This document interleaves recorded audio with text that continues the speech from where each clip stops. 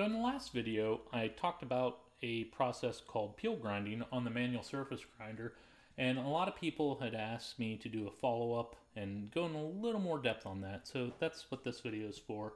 So peel grinding is a technique where we make small step overs as the part's reciprocating, and we just step the wheel across the part, and you can either go full depth or you could leave a tiny bit of spark out allowance. But most of the time I'm just taking it right to size and we step over like this. Now the distance of that step over is tied to the grain diameter.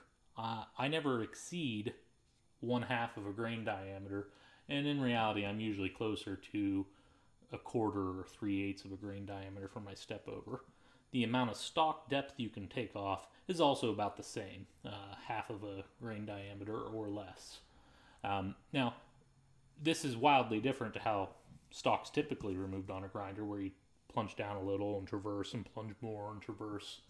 Uh, and if you look at it from a factor of grinding parameters, it's not as efficient. But if we look at this from a factor of the greater operation, it starts to make sense in very certain scenarios.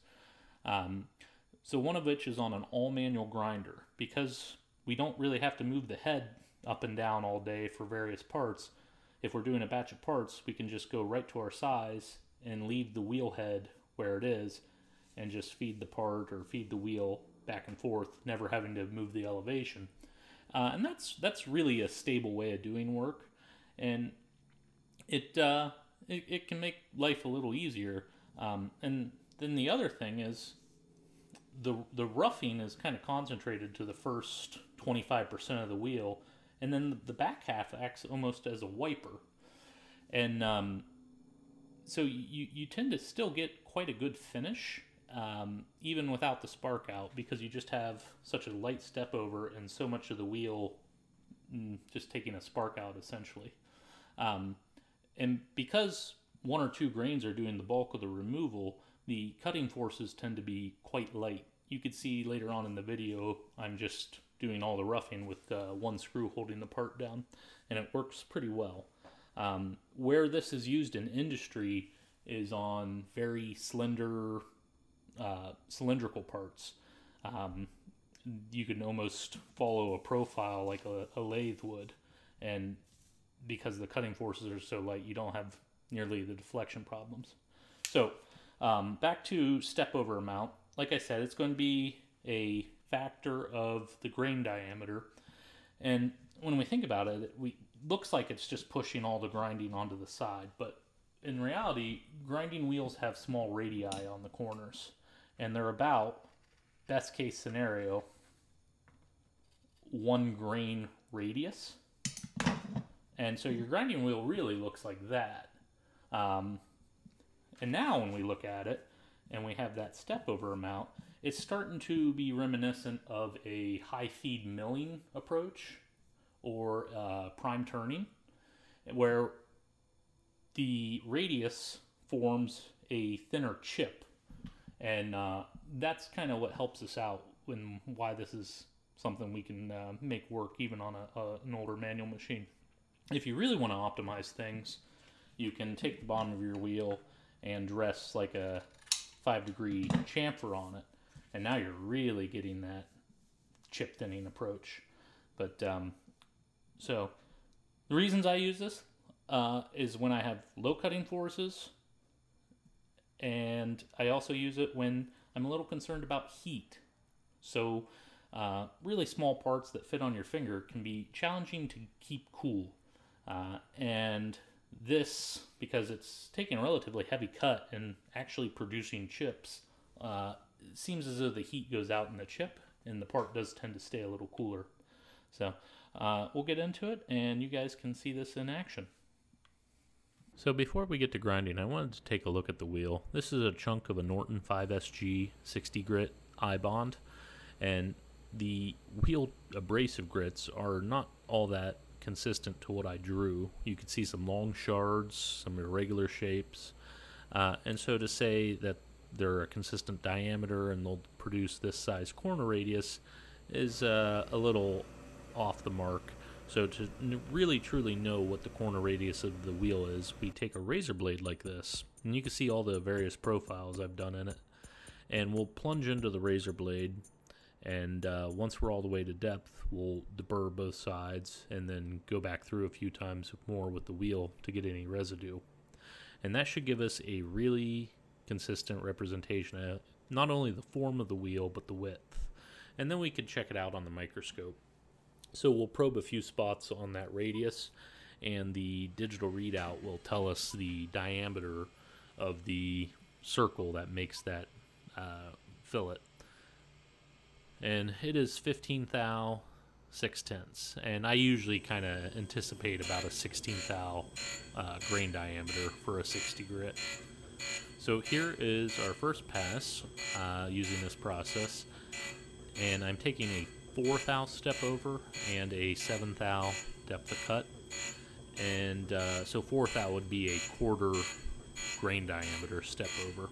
And uh, the next part I bump it up to 6 thou. And it went just as well. Uh, but as I described it, it just uh, takes a light pass and steps over, and all the wheel wear is concentrated onto the left corner of the wheel, leaving the better part of the right half of the wheel as a, a, a wiper of sorts. So once the roughing's done, the the wheel will go into a, a, finishing mode and it'll take two very light passes and then do some sparking out.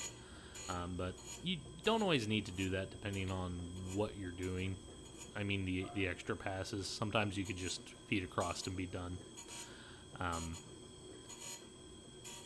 but uh, the the fixture I'm holding it in is what we call a second dimension fixture. We use it for squaring very small parts, and uh, it's just a toolmaker's cube with a rib, and then a uh, small cone-tipped screw pushing it against the rib.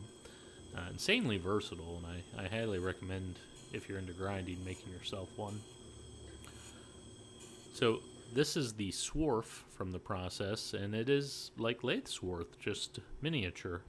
Uh, we have the nice curly pieces. We have some uh, some bird's nest even, and these are fairly nice sized pieces of grinding swarf, and I suspect that might be why it stays so cool as uh, the heat is coming off in the chip.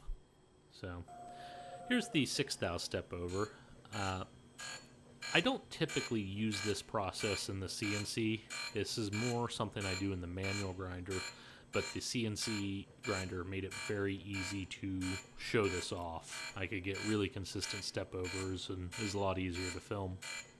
But uh, uh, it is sometimes useful, like I said earlier, if you have a, a flimsy setup and you want to keep your, your tool pressure down, uh, or if you have very small parts and you have some heat issues, it's uh, it's very very useful then. But for for most like flat plates and squaring, I'll use a traditional grinding approach with flood coolant. So while the CNC grinder is running, I'm typically doing subsequent operations to the part over on the manual grinder, and it makes for a nice little one-piece flow. So while while that's squaring the ends, I'm doing the the lengths on the manual grinder. So I'll just I know I have 10 thou stock, so I'll just touch the end, and I'll take five off of each side. And so I'll move the wheel head down five in y-axis and then I'll just feed the wheel across five thou at a time. I'm going five over here just because the the z-axis hand wheel is graduated five thou increments, so it's very easy to eyeball it to a consistent step over. But uh, I just feed across and then I'll feed back over, and it takes about 30 seconds. Um, so you might ask, does this really need ground? And from a dimensional standpoint, no. I could have ground this or milled this prior to heat treat, and it would have been fine. Um, but the customer is laser engraving the ends of these, and I think it'll just look uh, an awful lot better laser engraved. And then the other factor you have to consider is I didn't have to do any finish milling when I roughed these. I just used a rough corn cob end mill and sent them to heat treat. And so the Haas, I almost never really set up finish end mills. It's uh, it's just roughing and drilling in that machine. and the grinders do the important work. And that's, for me, a very nice workflow. So, uh, if you do manual grinding, give the peel technique a try. I really like it, and it saves me a lot of trouble.